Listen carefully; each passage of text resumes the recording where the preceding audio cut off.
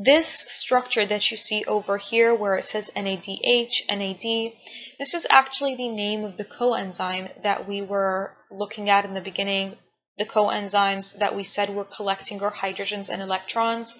Technically, the, the name of the coenzyme is NAD. When it collects those hydrogens, it is NADH. So what you're seeing over here is this was the coenzyme carrying our hydrogens and electrons. And what it actually did is it gave the hydrogens and electrons back to pyruvate.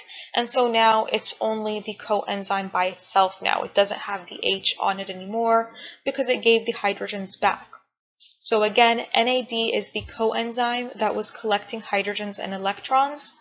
We, since we chose anaerobic, it knows that we can't cash those out for energy, so it's just going to give them back to pyruvate. And this over here was our pyruvate structure. Remember, we said it's a three-carbon structure with other things attached to it. So this is pyruvate, and if you take a look at what we have over here, this structure is nearly identical to pyruvate, except for the fact that it has these added hydrogens onto it. So lactate is actually what we end up with after the coenzymes give the hydrogens and electrons back to pyruvate.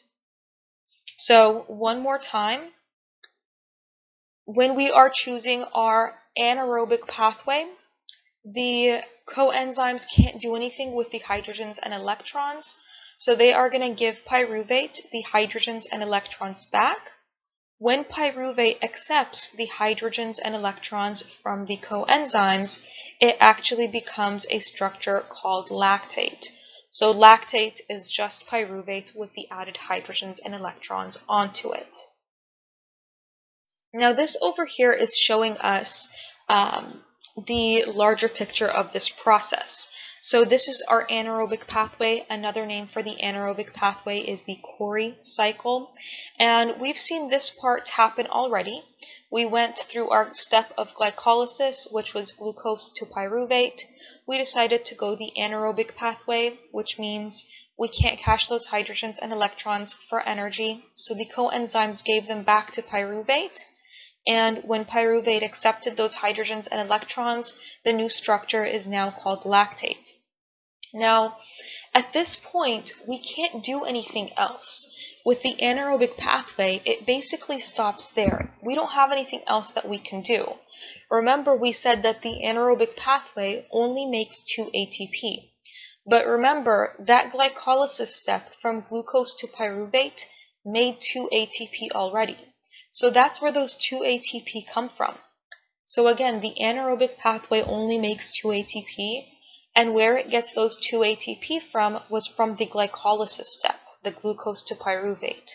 That made 2 ATP, and that's all the energy that the anaerobic pathway can make.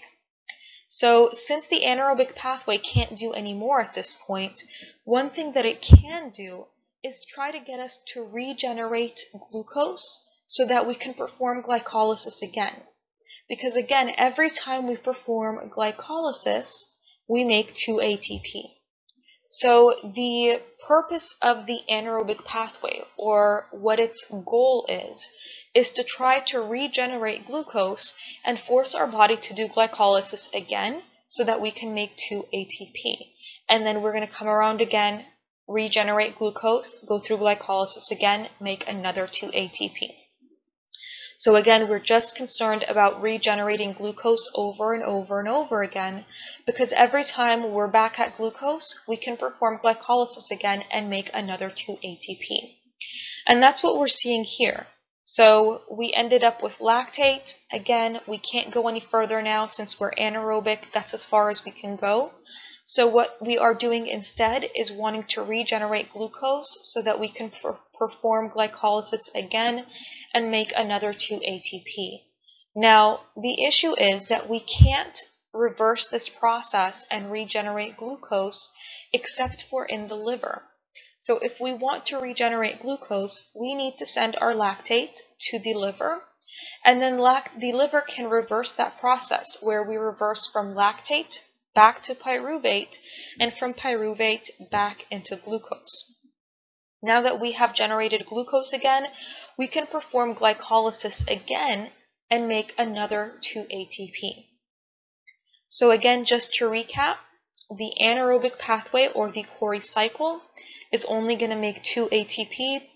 We make those 2 ATP in the glycolysis step. After that, pyruvate will accept the hydrogens and electrons from the coenzymes and that will create lactate. We can't go any further at this point, so what we want to do is reverse the process and regenerate glucose so that we can go through glycolysis again and make another 2 ATP through our glycolysis step. In order to regenerate glucose, we need to send lactate to the liver. In the liver, lactate can be converted back into glucose so that we can start the glycolysis process again and make another 2 ATP. Now this here is showing us the same thing just in a little more detail. So you see we started with glucose, we made pyruvate.